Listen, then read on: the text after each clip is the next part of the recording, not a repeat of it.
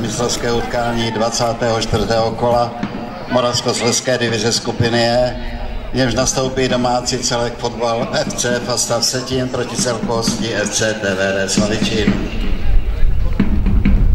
Hosté nastupují do dnešního utkání v dresech barvy červené, domácí celek kombinace modro-bílá.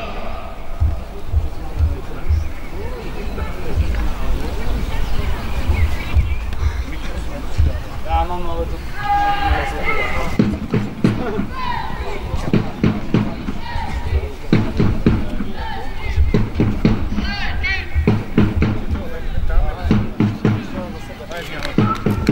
Vážení sportovní přátelé, před dnešním utkáním bychom rádi přivítali u nás na Setíně malého velkého bojovníka Beníka Matuše a jeho rodiče Nelu a Lukáše. Malý Beníček od narození bojuje z nepřízního osudu se zdravotními těžkostmi, o kterých si můžete prostřednictvím maminky Nely přečíst i z odkazu na našich webových stránkách a sociálních sítích.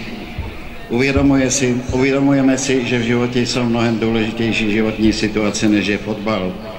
Rozhodli jsme se proto v našem klubu uspořádat sbírku, do které přispěli jak hráči A týmu, trenéři mládeže, tak činovníci klubu i rodiče sportujících dětí.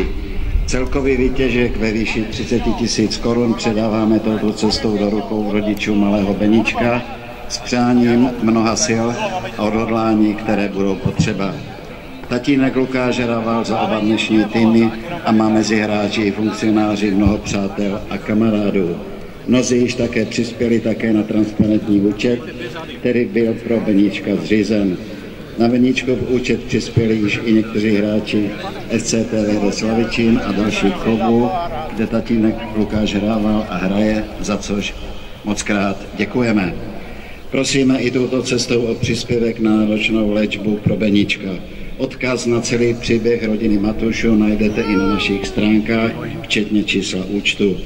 Sbírka na transparentní účet poběží až do února roku 2025